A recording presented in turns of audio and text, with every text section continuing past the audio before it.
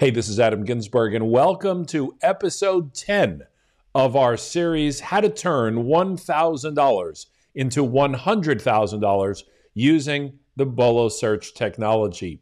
As always, your results will vary. We make no income claims or promises, and everyone that has access to this technology has made an investment in internet mastery. Before we get into today's content, let's do a quick update on our leaderboard. Remember, these are real people in real time getting real results as a result of working with Internet Mastery.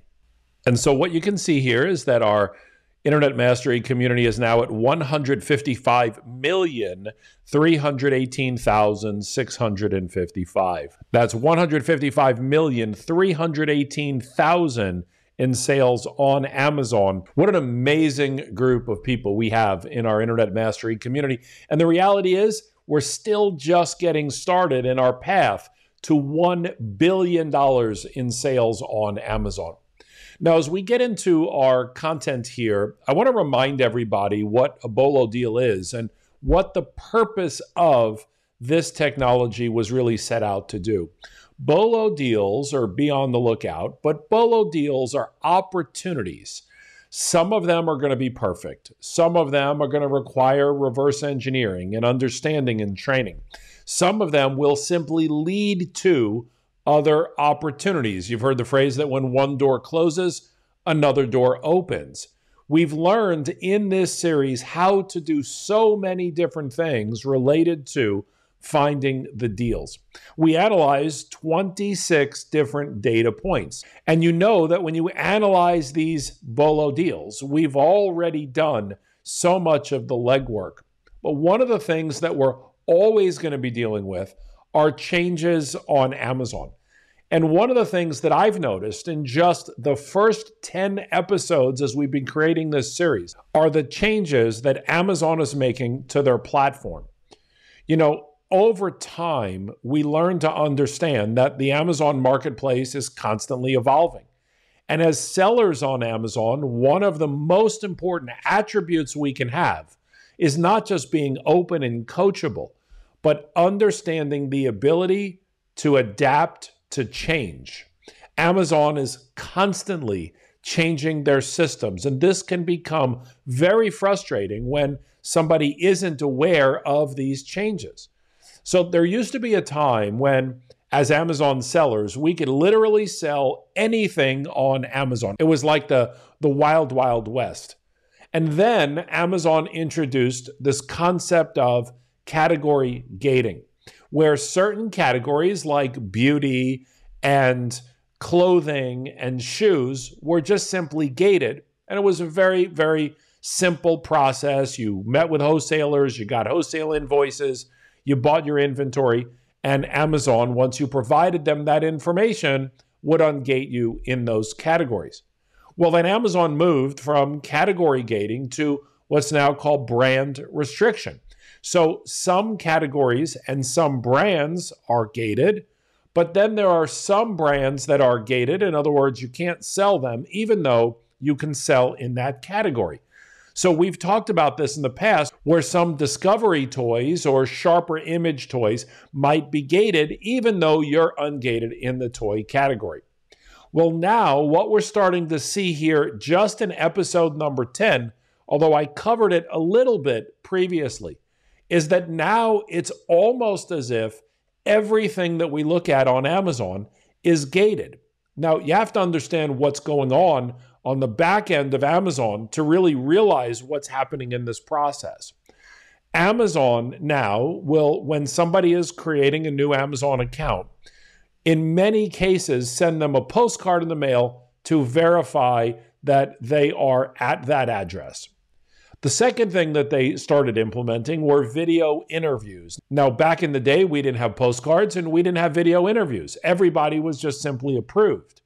But now Amazon needs to make sure you're a real person. So, again, big picture, understand that Amazon is trying to combat sellers that are unscrupulous, unethical, and out to defraud people. So, Amazon is protecting the Amazon marketplace. So, what they're doing now, it seems, and I haven't heard any confirmation with this, but it seems like Amazon is automatically showing that all items, and I won't say all like everything, like 100%, but it seems like a majority of the items that we go to list on Amazon are now gated.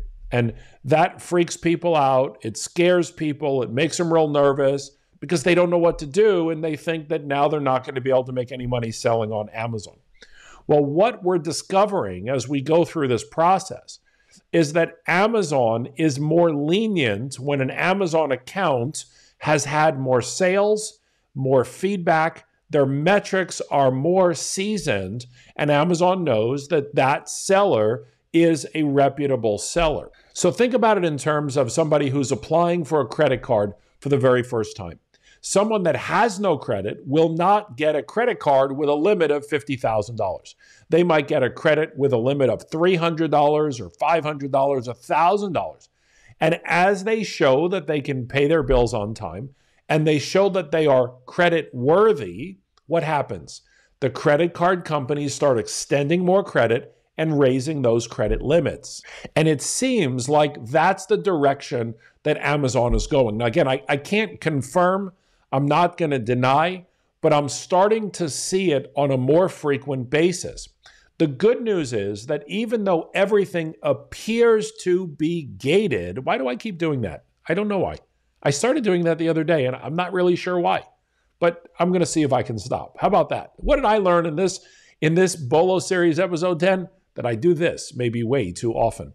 Anyway, that's just my own little thing. Sorry for the interruption there. So, what we're starting to notice is that these items are all gated. However, if you simply follow the process to get ungated, more than 50% of the items will instantly be ungated. And that's one of the things that I want to encourage you to do when you access your Bolo deals. The very first thing, before you look at what's selling and what's not, before you look at the profitability, before you look at the retailer to see if it's in stock, just click the Spy Rivals lookup button and see if you can get approved for that item. Now, there's going to be a couple of different options. I think I did this last series, but uh, last episode, but I want to do it again here. And that is to make sure that you understand that sometimes you're instantly approved and sometimes you'll have to provide the invoices from the wholesaler. Down the road in this Bolo series, we are going to be introducing Bolo deals from wholesalers. Yep, I said it. I give you a little tease.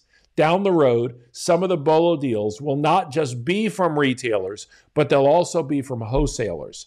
And so we'll have all kinds of opportunities to expand and grow this Bolo experience. But in the meantime, let me go ahead and jump into my account. I'm not going to analyze the deals yet. I'm just going to take a look and see what I could get instantly approved and what I can't. Let's check it out now.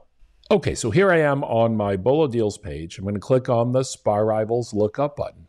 I'm going to go directly to the List on Amazon tab, and you'll see that it says that I need approval to list. So I'm going to click on Request Approval via Seller Central, and then I'm going to click on Request Approval. When I click Request Approval, you can see in this case that it is asking me to submit invoices or documents which means that the only way that I could sell this item on this listing would be to purchase it wholesale. So I'm going to close out of this listing and I'm going to head over to the next one. I'm going to click on Spy Rivals Lookup, list on Amazon, and request approval via Seller Central. And now I'm going to click on Request Approval. And again, in this case, I need to provide documents. But you'll notice that the request that Amazon is asking for is different than it was in the previous example. Let's try it again. Now, in this case, I'm going to click on Spy Rivals Lookup, and you can see that it is not selling very well, but again, not the point of this exercise. Now I'm going to click on Request Approval. Now, the reason that I want to stop there is something very specific to Entertainment Earth. I happen to think that Entertainment Earth provides an insane opportunity for Amazon sellers. And what I love about the Bolo deals is the ability for everybody to not just see what is selling on the Bolo deal itself, but to provide new opportunities as we've discussed in the past. But in this specific case, it turns out that Entertainment Earth is very friendly to Amazon sellers from a wholesaler's perspective. So, just a little insight into Entertainment Earth they sell retail and they sell direct to the consumer. So, we can do our retail arbitrage. We can buy items at a great discount and we can sell them on Amazon. Now, Entertainment Earth is also known for selling items in advance, in other words, pre sale. I happen to think that is a great idea, particularly with Entertainment Earth, because what happens is if you wait for this item to get into stock, it will already be sold out. There are enough people and enough demand for these items when they are sold in pre release.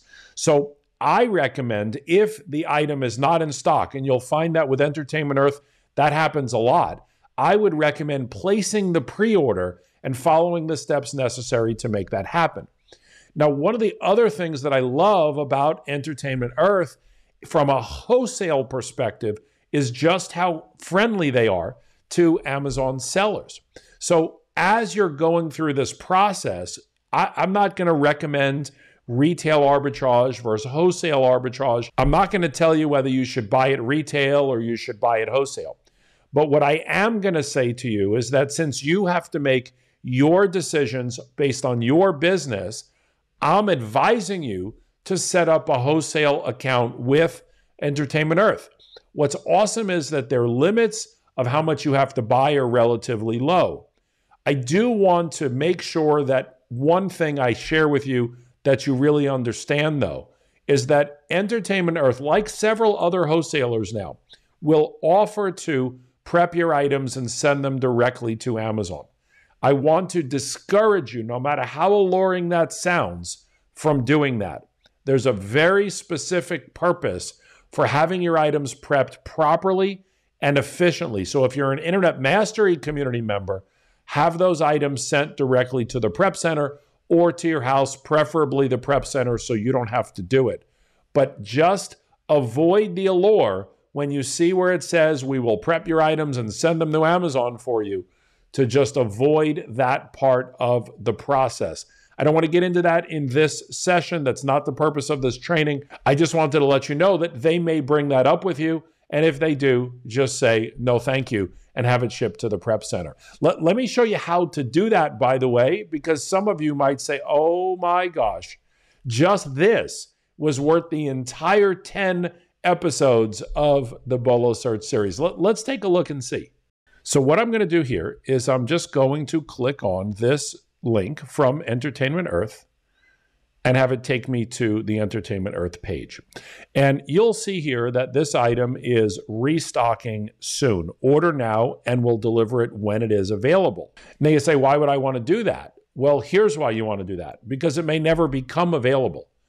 See, if you order it now, it will become available and you will have access to it. But what happens, as I mentioned, it's all supply and demand. People who are selling the Entertainment Earth product very well place the order. As soon as they can place the order, they lock in that inventory. And then Entertainment Earth creates a certain amount or gets access to a certain amount of inventory.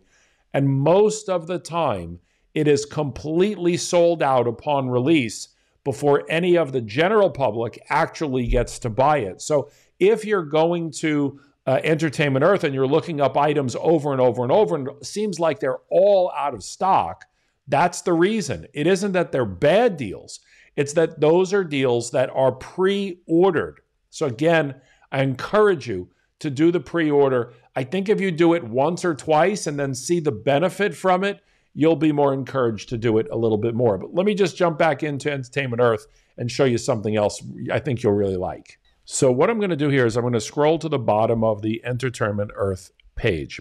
And you'll see here that under behind the scenes, there's a link that says how to buy from us wholesale.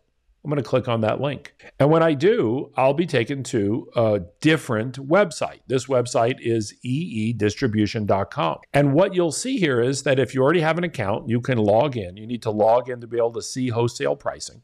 And you'll see all the benefits of applying for an account, including this one that says ships directly to Amazon FBA. Again, I'm going to encourage you not to do that and to utilize the Prep Center in that process. But completing the initial application is really simple first name, last name, email, retype your email, put in your company, and then your phone number, and then how you found them. Okay? We don't have a Adam Ginsberg or Internet Mastery. There is an other, and uh, you just select other, and you can now set up your wholesale account with EE. Now, they may ask you for your tax ID and your business entity. So, hopefully, by now, if you're watching this and you're all the way to episode 10, you already have all that set up with Prime Corporate. You've got your business entity, your LLC, your EIN. So, you're all set to buy wholesale. But I think what's really powerful about this is that once you apply and you get approved, you will get the entire catalog from Entertainment Earth. You'll get the wholesale pricing. You'll see what you can invest in. You'll see what quantities you need. And then, if you are a pro member with Internet Mastery, of course, you'll be able to use Wholesale Analyzer and analyze the entire spreadsheet of their catalog all at one time.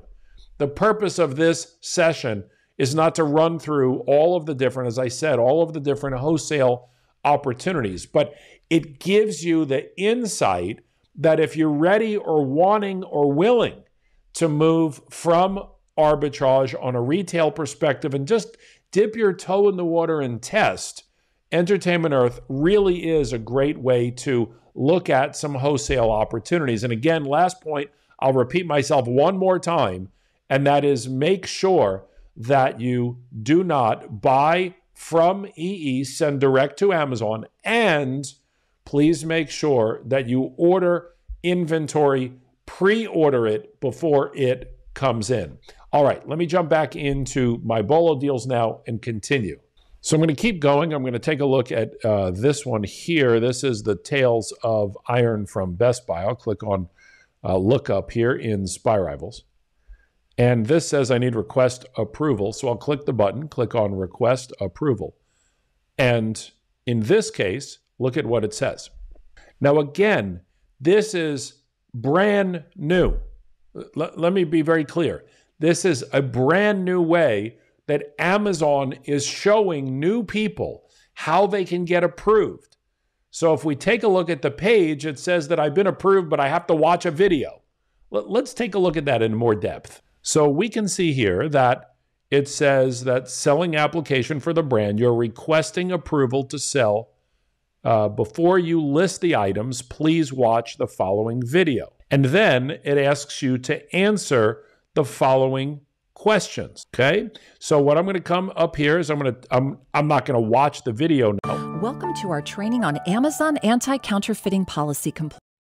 So what Amazon wants you to do is understand the process to make sure that your items are real and genuine. So in this case, it says are you a reseller, distributor, manufacturer, or obviously a reseller? Which of the following statements describes your responsibility? Once I'm approved, I can sell without uh, needing to vet the product. I don't need to review every product. If another seller is already selling the product, it's allowed to be sold. And the last one is I'm responsible for all the products I sell on Amazon and understand whether they violate the law. Now, that's the answer there. Obviously, I haven't watched the video yet, but I'm pretty confident in that answer. If you list products for sale on Amazon that are illegal or otherwise in violation of Amazon policy, it could result in your listings might be reviewed, your selling might be reviewed, your account might be blocked. Well, that's obviously all of the above. Again, I encourage you to watch the video. Which of the following represent best practices when selling on Amazon to ensure compliance? Assign one or more employees to be responsible. Carefully review restricted products. If buying inventory, apply extra diligence. When in doubt, do not list it. If selling drugs or supplements, okay, the answer to this one is all of the above. All products I intend to sell are authentic, counterfeit, uh, are authentic. Counterfeit, replica, or knockoff products are prohibited on Amazon. All products I intend to sell. Now, this is the first time that I'm seeing this video, and this is the first time that I'm seeing these questions. I've been doing this a long time. I know what the answers to the questions are without actually watching the video. But what's fascinating is everything that I said at the beginning of this session was literally just validated by what we experienced in this process. One of the things I love about doing these these sessions is I do them in real time. I have moments and you have moments just by simply participating. This is uh, this is a lot of a lot of content in this particular episode. So let's go ahead and finish the process and let's see what happens together. And there we have it. Your selling application for this brand is approved. And there you go. So Amazon wants to protect Amazon. Amazon wants to make sure that its sellers understand the policies and that you agree to those policies from selling on Amazon. So, this is just another layer of protection and one more thing that's going to separate you from everybody else who's selling on Amazon.